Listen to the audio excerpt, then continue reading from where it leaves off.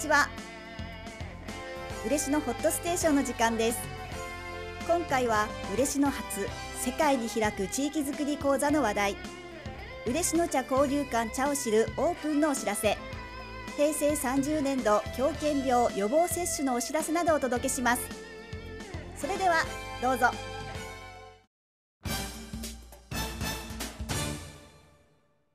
3月4日日曜日嬉野市公会堂で嬉野初世界に開く地域づくり講座が開催されました。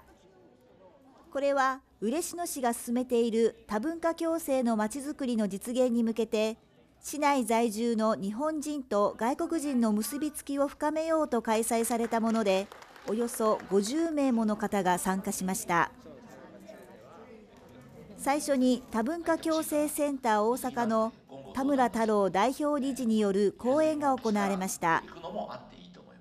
訪日客が急増していることを背景に嬉野市の現状や多文化共生に関する事例を紹介し嬉野市で必要な取り組みなどの話がありました。その後3名のパネラーを迎えディスカッションが行われました。少し考えました。でもまあ作ってくれることにまあ嬉しいなと思って行いました最後には参加者によるワークショップが行われ安心安全な街また来たい今後住みたい街をテーマに外国人が嬉野での生活で困ったことや在住日本人が外国人と接する上で困ったことを挙げその解決策について話し合いました。話の中で漢字の表記が多くて難しいゴミ出しのルールが難しいなどの課題に対し日常生活においても外国人向けの窓口をなどの意見が出ました。今日は本当に嬉しかったです。いろいろなことを教えていただいて本当に役に立つだと思います。ありがとうございました。今日は嬉しかったです。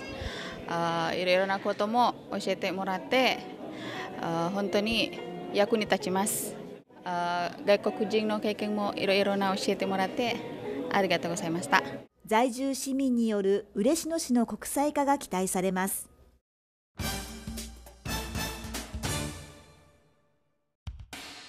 環境下水道課から狂犬病予防注射についてお知らせします。4月4日水曜日から4月15日日曜日まで狂犬病予防注射を各地区の会場で行います。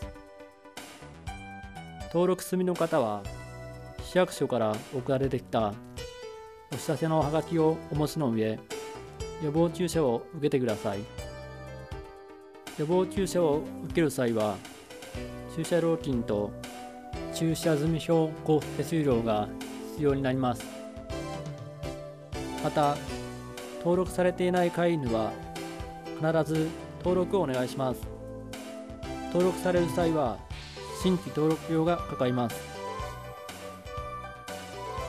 当日は混雑が予想されますのでお釣りが出ないよう準備をお願いします。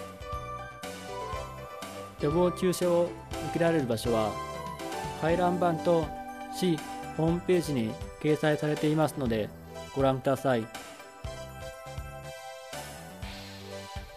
なお飼い犬が死亡した場合は早めにご連絡してください。愛犬の健康を守るのはあなたです。愛犬の狂犬病予防注射を忘れないように受けてください。以上環境下水道課からのお知らせでした。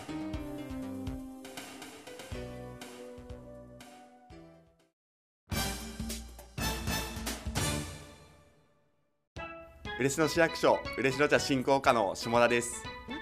平成28年度から金サラン館の隣に建設を始めていました嬉野市嬉野茶交流館茶を知るが4月1日にオープンします。茶を知るではお茶の歴史や作り方が学べるほかお茶の入れ方教室や茶染め体験お茶摘み体験や茶もみ体験などさまざまな体験ができお茶を通して交流ができる施設となっております。4月1日はオープン記念といたしまして無料で入館ができます。また第31回嬉野茶ミットもチャオシルで開催されておりますのでこの機会にぜひお越しください。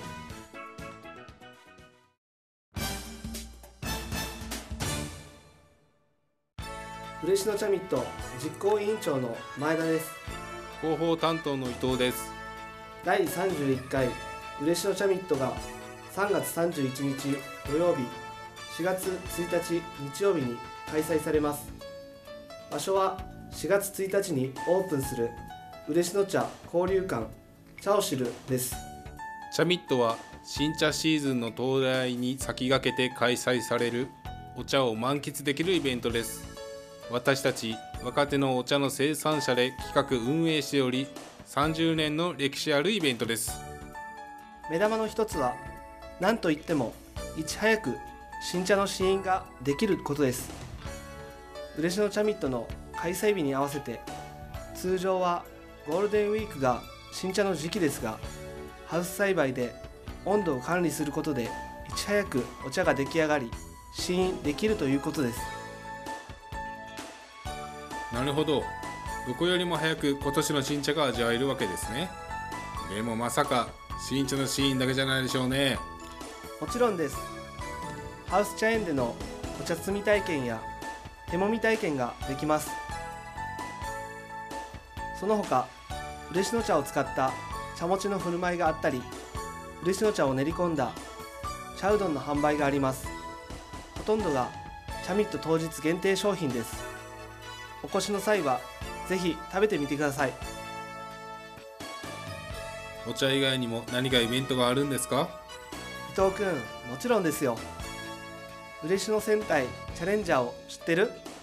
あのいつもポスターに載っている3人組の。そうです。今年もチャミットにチャレンジャーがやってきます。何をやるのかは当日のお楽しみに。楽しい時間になることは間違いなしです。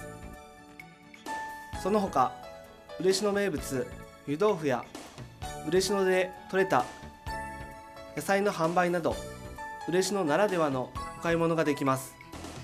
また地元で活動している和太鼓やダンスフラダンスのショーがあります。お茶に限らずチャミットに行けば嬉野が味わえるということですね。そうですね。最後になりますが会場は4月1日にオープンする嬉野茶交流館茶を知るです。第31回嬉野チャミットにぜひ来てください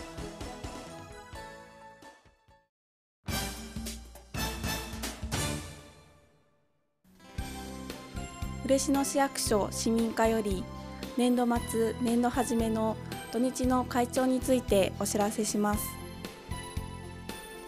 3月24日土曜日25日日曜日31日土曜日4月1日日曜日の午前8時30分から正午まで塩田庁舎と嬉野庁舎の両庁舎の市民課を開庁します。住民票などの証明書の発行印鑑登録転出転居等の住所の移動戸籍の届け出またマイナンバーカードの発行等の業務を取り扱います。パスポートの申請交付はできませんのでご注意ください。なお受付の際は免許証等で本人確認をしますので本人確認書類をご持参ください。詳しくは反回覧文書司法嬉野3月号または塩田庁舎嬉野庁舎の市民課までお問い合わせください。以上市民課よりお知らせしました。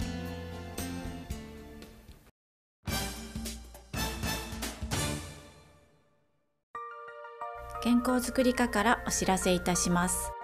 3月は自殺対策強化月間です。自殺は誰にでも起こり得る命の危機です。大切な人の命を守るために身近にいるあなたにもできる自殺予防があります。キーワードは気づく、傾聴する、つなぐ、見守るです。気づく、眠れていない、食欲がない、イライラしているなどいつもと違うと思ったら声をかけてみましょう。傾聴する本人の気持ちを尊重して悩みをじっくり聞きましょう。つなぐ専門の相談機関などにつなぎましょう。見守る心の悩みはすぐに良くなるわけではありませんので温かく見守りましょう。嬉野市では心の体温計というメンタルヘルスチェックシステムを導入しています。パソコンや携帯電話から簡単にチェックできますのでぜひご利用ください。嬉野市心の体温計で検索していただくか嬉野市のトップページのバナーからもご利用できます。一人で悩みを抱え込まないでまずは相談してください。内容に合わせて相談窓口をご紹介いたします。以上健康づくり課からのお知らせでした。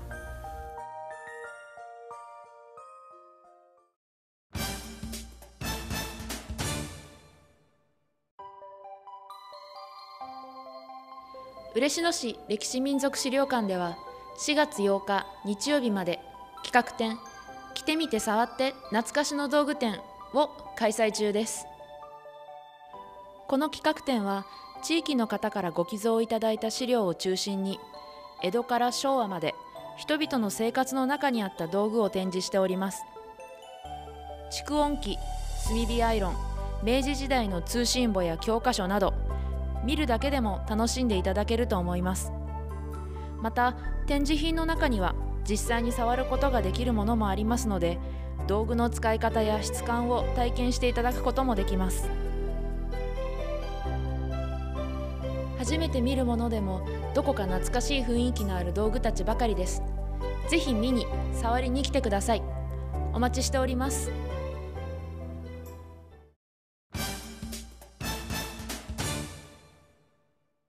3月の塩田町の在宅当番員はご覧の通りです。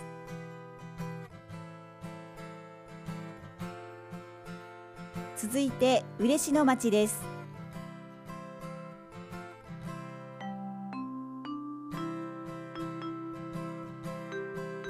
3月の小児時間外診療はご覧の通りです。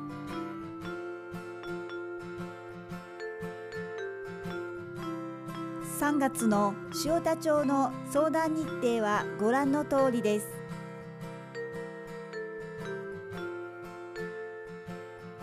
続いて嬉野町です。